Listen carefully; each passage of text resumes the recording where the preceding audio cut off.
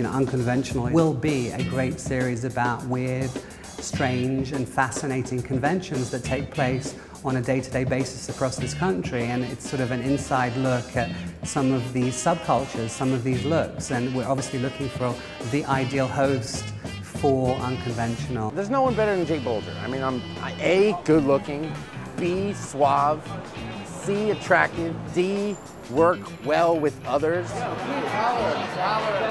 was definitely funny to have him sort of um, lobbying to be the host of Unconventional. I've got a thriving acting career going on, and in the meantime, I'm looking for like a gig, you know, and I know this is the gig.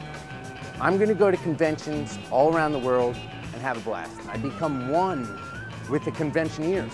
Peanut obsessed fans, Star Trek, Transformers, going horror, comic books, hair cutters conventions. I possibly might dress up. Well, they don't know I'm coming, but voila, you know, we're in, right? I'm gonna go in there, I'm gonna figure out who's making this goddamn TV show, and meet him, and make sure he knows that I'm the one for the job.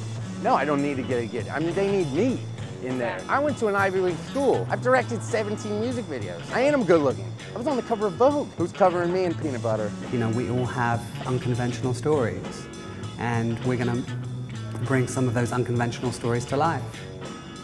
Who knows? Peanut fight, peanut butter fight, peanut butter wrestling match.